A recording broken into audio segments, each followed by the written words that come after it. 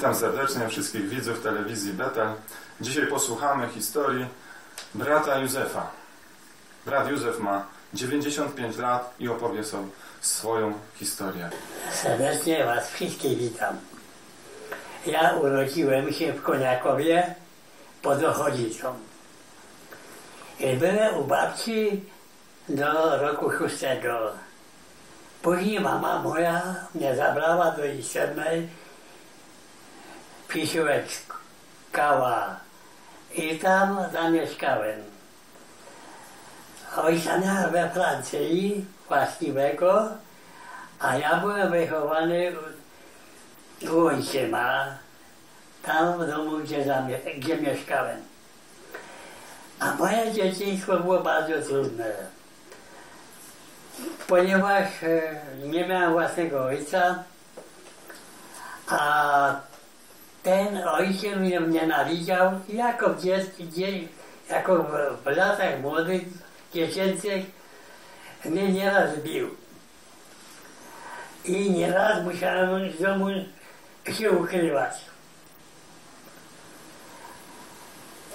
Chodziłem do szkoły na założu. Skończyłem 14 lat, skończyłem czwartą klasę. Miałem 14 lat. Ponieważ w siódmej klasie czas nie było. Byłem bardzo zdolnym uczniem. Po skończeniu szkoły, mając 15 lat, ojciec mnie dał na służbę jako pas, pasterza do Wisły Kamiennej. I tam mnie zaskoczyła wojna, która się rozpoczęła 1 września 1939 roku. I tak dokładnie pamiętam, kiedy były wysadzone w powietrze w Czarneckim mosty. Ale ojciec, wiedząc, że wojna przyszedł i zabrał mnie do domu. A ponieważ już e, skończyłem szkołę, żądali ode mnie jakiegoś potwierdzenia, a ojciec mnie podał jako, jako mm, młody człowiek, że pracuje w narodzie. I w ten czas nie zarejestrowano w Urzędzie Pracy w, w Jabłonkowie, teraz Czechosłowacja. I po jakimś czasie dostałem wezwanie na przymusowe roboty do Niemiec, miejscowość Braunschweig. Ale ja tam nie pojechałem. Już byłem w drodze i sąsiedzi mówili, żebym nie jechał, że mamy chorą, bo mama leżała sparaliżowana, a było trochę gospodarstwa i była też dużo pracy. Ale po jakimś czasie ktoś powiadomił gospodarza w- Jabłonkowie tam, że jestem taki, jest taki chłopiec, żeby się, mo- żeby się do mnie zwrócił. No i ja tam do niego poszedłem jako parobek, pracował na roli ma- i mając parę koni. I tam poszedłem na wiosnę i pracowałem normalnie 7 miesięcy. Później w listopadzie w roku 1941 dostałem wezwanie do sądu do Cieszyna. I dostałem wyrok 6 miesięcy więzienia. Kiedy mnie zwolnili z więzienia, byłem jakiś czas w domu. Ale później znowu dostałem wezwanie za na przymusowe roboty. Też do Jabłonkowa, ale do piekarni. A tam trzeba było wykonywać ciężką pracę, rąb, rąbiąc drzewo na mniejsze kawałki do piekarni. A nie było wolno wstąpić do kuchni, ani, ani do piekarni. Była taka duża wiata, tam mi przynoszono jedzenie. A spałem w różnych warunkach na poddaszu, na klatce schodowej. Było bardzo zimno, był mróz. I tak, a ten gospodarz, ja musiałem rano wcześniej wstawać, gdzieś około czwartej, piątej. Jeżeli nie byłem parę minut na dole, to mnie lało takim nachalem. No ja już później nie wiedziałem, co robić. I stało się, że ja dostałem zapalenie płuc. Ale trzeba było uzyskać zezwolenie do lekarza, a on tego zezwolenia mi nie dał. Ja na własną rękę poszedłem na ulicę, płacząc, nie wiedząc co czynić, jak się dostać do domu. A jakiś gość się i pytał się, co się mi stało. Co mi dolega? Ja mówię mi, że chcę do lekarza, nie ma zaświadczenia.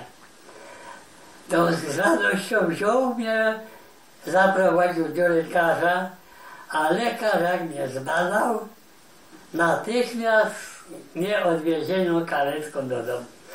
Miałem zapalenie silnie zapalenie płuc. I tak byłem w tym domu. Ale ciężko mnie wzywano do poboru.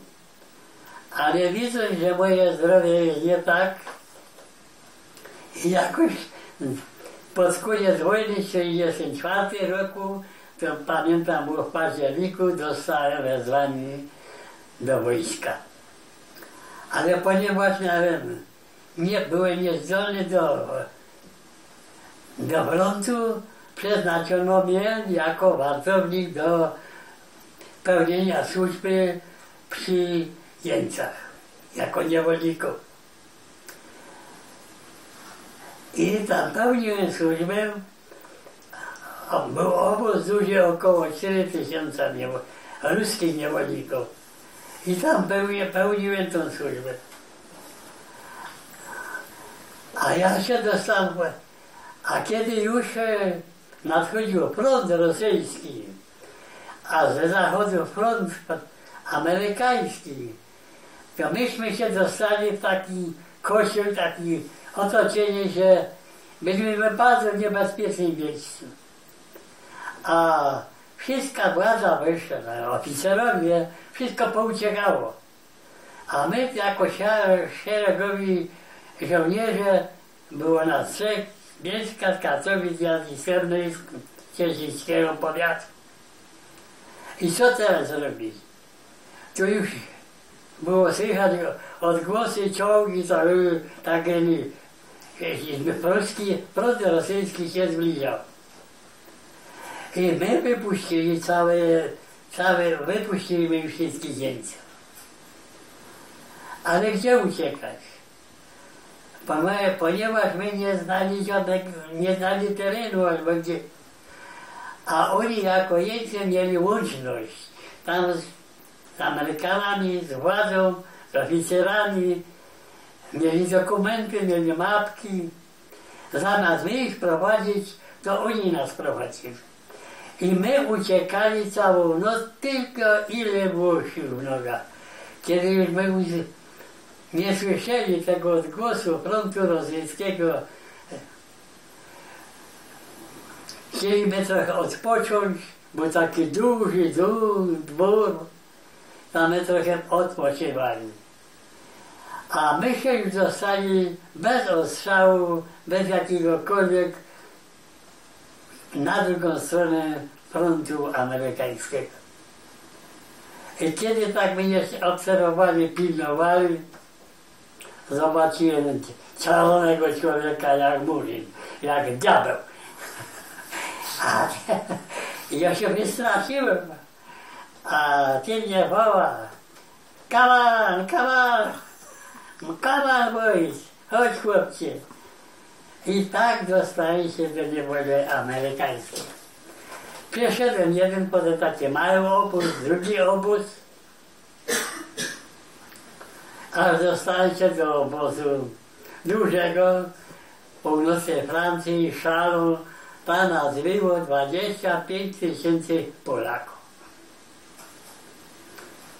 I właściwie tam byłem ten, jako już jako jeździec, byłem w tym obozie e, do listopada 1945 roku.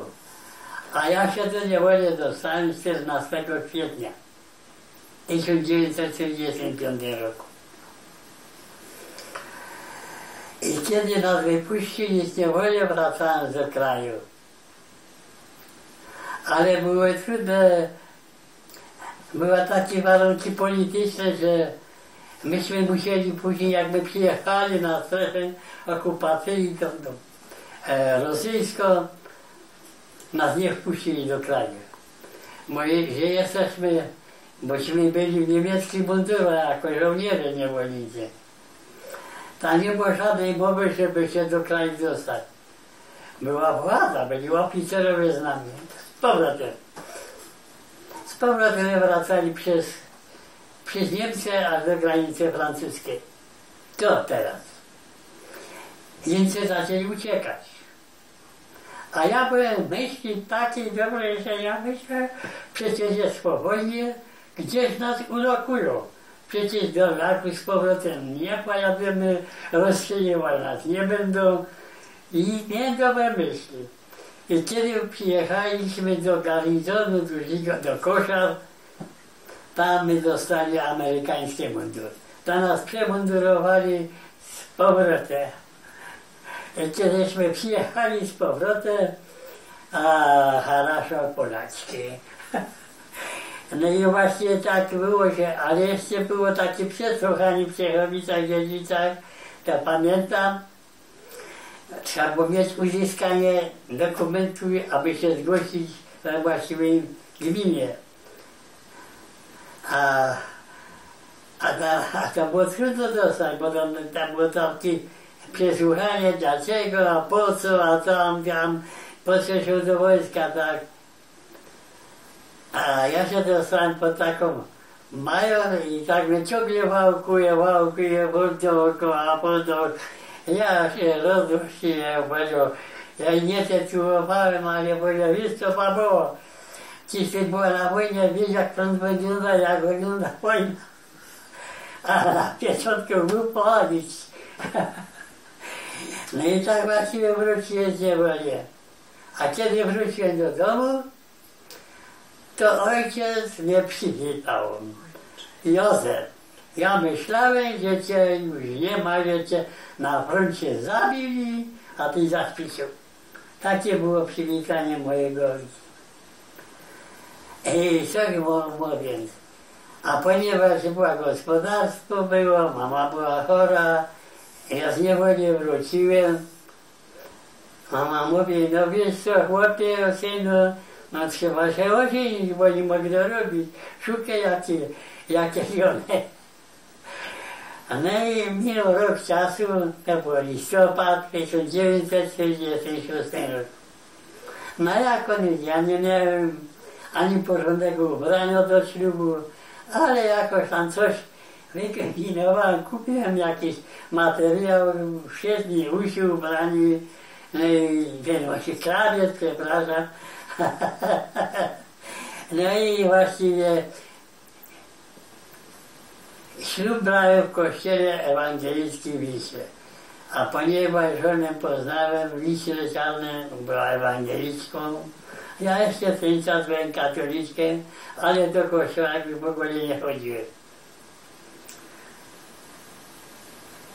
A chcąc uzyskać pozwolenie od księdza katolickiego, aby wziąć ślub w kościele ewangelickim, trzeba było mieć zaświadczenie, potwierdzenie o nim. A on mnie tego nie chciał dać. Ale później się rozgłosił, to zaświadczenie otrzymałem,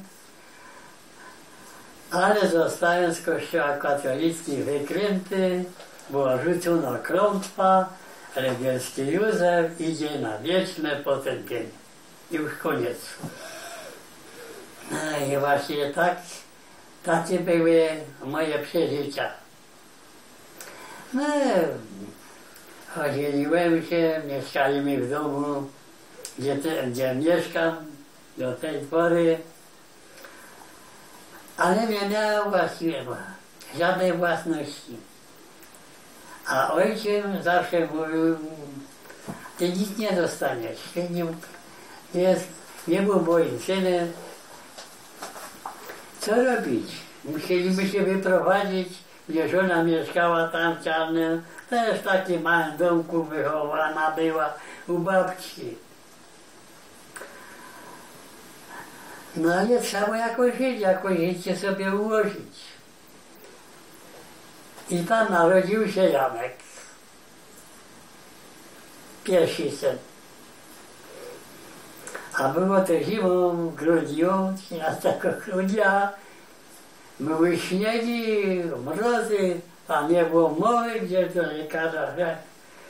I starka jako trochę się znała na i tak się chłopiec urodził tam w takich warunkach. I my tam mieszkali pięć lat. No ale nie było. Nie było jakoś, trzeba było coś kombinować, aby mieć jakiś, jakiś własny domek. No i z powrotem do domu, do Isternej. A mama zawsze mówiła, że mi połowę posiadłości da, ponieważ na nią przypadało połowę właśnie. Ja już później nie, nie zwlekałem. Mamę zawiózł na notariusza, furmanką, spisali akt notarialny i zamieszkaliśmy tam w domu. Później się urodził drugi syn, w 52 roku, ale już tam w no i tak się życie układało. A ja pracowałem w ciężkich warunkach na drodze jako wydział drogowy. Była ciężka praca. Nie, nie było ten czas takich maszyn jako dzisiaj do odśnieżania. Ręcznie wszystko odśnieżać. A latem była praca przy rozlewaniu asfaltu, tej masy asfaltowej wszystko ręcznie się równało na nodze. I tak osłabłem i dostałem, zachorowałem na gruźlicę. Kiedy się przyjechałem do Usunia na prześwietlenie do lekarza, lekarz zbadał, dał mi 10 dni wolnego, mówi za 10 dni przyjechać. Przyjechałem, a lekarz miał już gotowe papiery wypisane natychmiast dzisiaj do szpitala. Co robić? Ja panu, co się stało? Trudno, trzeba się leczyć. Albo iść, albo na, albo na drugi świat. Ja się wystraszyłem. Prosiłem go, żeby do domu jeszcze wrócił, że nie mam pieniędzy, nie mam z czego się, nie mam przebrania. No, zadzwonił ale mówił, że jutro rano wcześniej, żeby był szpital. I ja wcześniej pojechał, a on już dzwonił gdzieś tam jest. I czasie lekarze mieli do pacjentów szacunek. I dostałem się do szpitala, do Cieszyna, do siebie tam. Tam były bardzo dobre warunki, jak sanatorium. Ale się bałem, czegoś się bałem, tak sobie rozmyślałem. Hmm. A jak umrę, co ze mną? Ja się strasznie bałem śmierci. Tak się rozmyślałem. No co się stanie, jak, jak mnie Pan zabierze? Ja jestem niezbawiony. A miałem tysiąc słowo Boże. No i zostanę. I tak się modliłem, jak umiałem. Panie, jeżeli mnie uzdrowisz, będę Cię służył. I dostałem sobie Boże taką bardzo dobrą odpowiedź. Co do mnie przychodzi, tego nie odrzucę brać. Ja się tego tak uchwyciłem i już tam szpitalu zaczął się angażować, zapraszać na, na nabożeństwo. Mieliśmy takie specjalne nabożeństwo dla pacjentów innych zapraszałem ewangelików na to nabożeństwo. A był bardzo dobry, miły pastor Michała, który się o nas troszczył jako, jako pacjentów. I tam się już zacząłem angażować.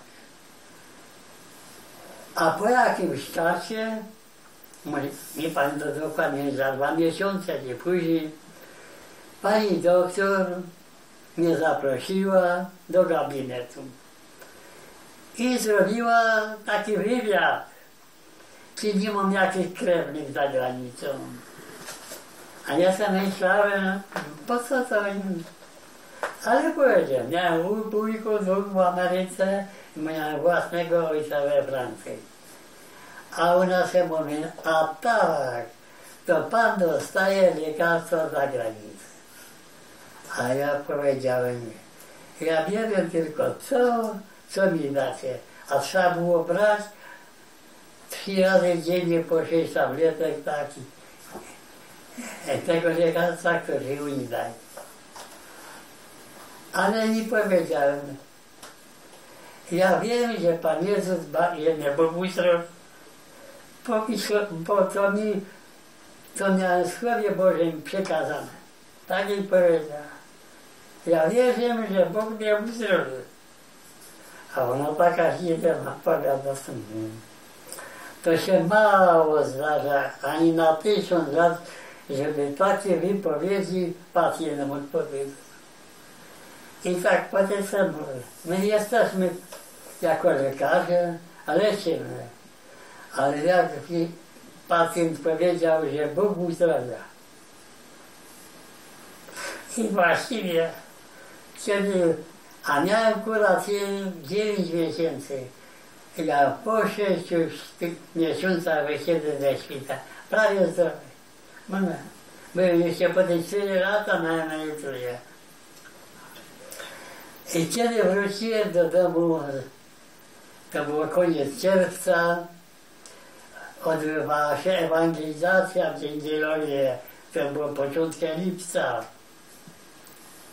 Ja natychmiast się zgłosiłem do Dzięgielowa na tydzień.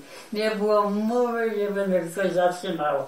A żona sobie mówi, no chłopie, już pół roku cię nie było, jest trzeba trawę kusić. Ty zaś idziesz do Dzięgielowa. Ja pan nic mi nie zatrzyma. Trawa się skosi, ale ja tam być muszę. No I właściwie tam jest taki pragnienie, jakby nie, no nie mogę sobie to wyobrazić. Kiedy było, było Słowo Boże zastosowane, tam jest chyba stare, za, e, stare miejsce, takie to nazywaliśmy, Stodoła. Było ciepło, do środka nie było mowy, żeby się dostać. A ja na siłę się wepcham do środka, jedźmy, ciopach aby, aby tego widzieć, kto mówi, aby dobrze słyszeć, co mówi, jakby to z tych słowa połykał. Takich nie mam pragnienia. I pod koniec tygodnia, kiedy się ewangelizacja ku końcowi było wesłanie. Kto pragnie, niech, niech zda świadectwa. A bracia mnie namawiali, no powiedz co, jeżeli coś przeżył. A była taka mądra siostra przełożona Jadwiga. Mówiła się tak, mu spokój. Jeżeli coś przeżył, Duch Święty mu to poświadczył, to on sam powie.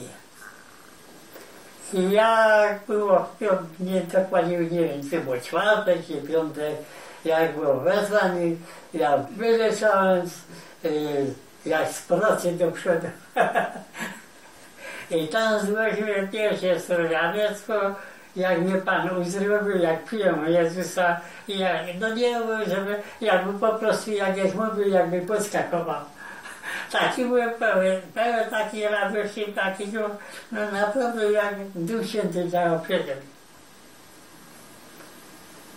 I od, od tego czasu, kiedy z Dzięgielowa wróciłem, zawsze się zgłosiłem do pracy z Bożem w kościele. No, mnie tam proponowali, żeby godziny biblijne jako brat, Ale tam była gablatowa profesor, która prowadziła wykłady dla tych pracowników szkółek. Ja się zgłosiłem jako pracownik do szkółki niedzielnej. I tam zacząłem prowadzić szkółkę niedzielną w Isternej 16 lat. Ale moje pragnienie było coraz większe. Ja tam byłem, wprawdzie, byliśmy takim pod taką kontrolą. E, ksiądz to wolno, to nie wolno, to nie. A był taki bardzo miły ksiądz, który starał się o nas, prawda, że nam nie zrobił żadnej przeszkody. A potem jak przyszedł inny, już, było to nie wolno, to nie wolno, to nie wolno, tego nie wolno śpiewać, tam to są kancynowe, tak. Ja wiedziałem, że nie ma już być. A powstał już w międzyczasie w Wiśle Czarnym, tam na Kopcu, jeszcze w prywatnym domu. Ja już tam zacząłem też przychodzić. Ale co, szkółkę miałem ogłoszoną, no przecież nie tych dzieci było żal, żeby trzeba było przecież szkółkę prowadzić. A tu była nabożeństwie w Czarnym, to, to tak jako rozna, ale było nas trzech pracowników, to tak wzięli, że jak ja nie miałem, to poszedł do Czarnego na... A, a jeszcze był stary zbór w, w ustroju, koło stawu. Ja tam kiedyś pojechał. I tam dopiero zobaczyłem.